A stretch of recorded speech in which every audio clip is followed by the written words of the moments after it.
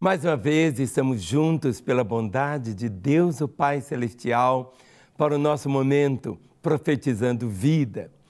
Profetizar não significa simplesmente antever o que vai acontecer.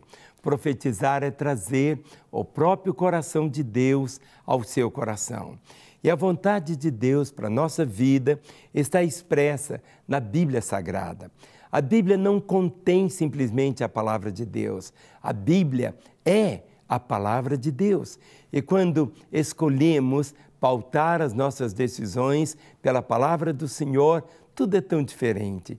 Jesus Cristo disse assim: examinai as Escrituras, porque vós julgais ter nelas a vida eterna, e são elas que de mim testificam. Por isso que eu só posso profetizar o que está aqui, trazendo da palavra de Deus e plantando esta semente no seu coração. Nossas ações sempre provocam uma reação. Mas Deus tem o propósito que essa reação possa ser realmente benéfica para você. A Bíblia nos leva a viver uma vida chamada uma vida abundante, a vida que Deus tem, a vida que Ele planejou, aquilo que Ele sonhou para nós está aqui.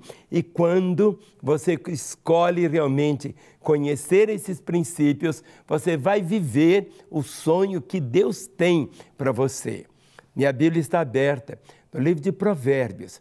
O primeiro versículo diz assim: O solitário busca o seu próprio interesse e insurge-se contra a verdadeira sabedoria. Eu vou ler novamente.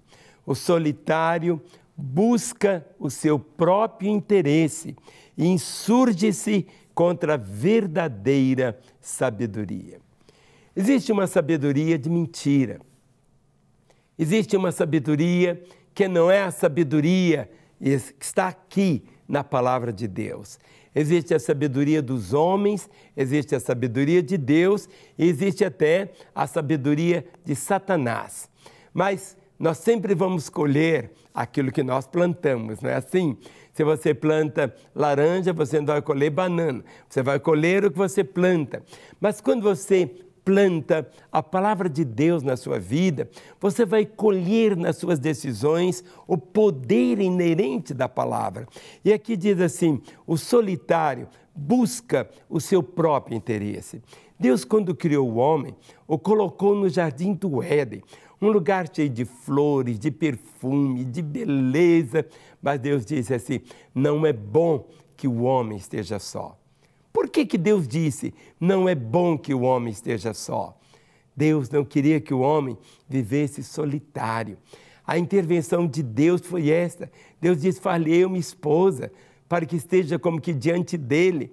Então, o homem, quando viu a mulher ali, é a solidão, não iria fazer mais parte do seu histórico. A solidão dói. A solidão não é a vontade de Deus para o homem. Deus plantou o homem, Deus fez algo tão glorioso para que o homem pudesse viver agora segundo a vontade do Senhor. Por isso diz: o solitário busca o seu próprio interesse, porque viver a dois não é tão fácil, viver em família não é tão fácil. Quantas vezes pessoas abandonam a esposa, ou a esposa abandona o marido, os filhos abandonam os pais, querem viver sozinhos. Mas quando a pessoa está sozinha, o que, que acontece? Ele é o solitário. E o solitário busca o seu próprio interesse. Isso é egoísmo. Ele quer viver para ele, viver para ele.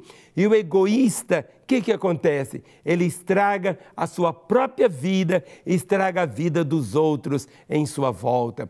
Por isso que o plano de Deus foi que o homem não vivesse sozinho que ele vivesse em família. E a família, ela só vai crescendo e vai crescendo também as amizades. Isso ajuda de modo tão glorioso. Não sei se você é uma pessoa solitária. Não sei se você tem vivido tão sozinho. Quem sabe a televisão tem sido o diálogo que você tem. Outras vezes você busca na bebida, busca em tantos outros lugares, mas jamais se esqueça do que você ouviu nesta hora. O solitário busca o seu próprio interesse e diz: insurge-se contra a verdadeira sabedoria. Se há uma sabedoria verdadeira, existe uma sabedoria mentirosa. E a sabedoria mentirosa é essa: viva sozinho, você é dono de você mesmo, viva para você. E aí as coisas bagunçam. Mas quando você escolhe viver o sonho de Deus, tudo é tão diferente.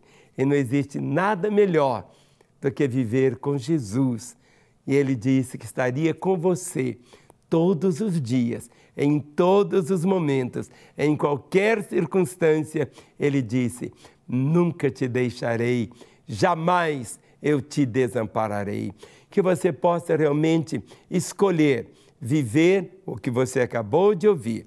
O solitário busca o seu próprio interesse e insurge-se contra a verdadeira sabedoria. Amém. Não quer ficar um segundo por fora da nossa programação? Agora você pode nos acompanhar através das plataformas digitais. Não perca tempo. Acesse, curta e siga-nos. Fique por dentro de tudo o que acontece por aqui. Rede Super, inspirando você.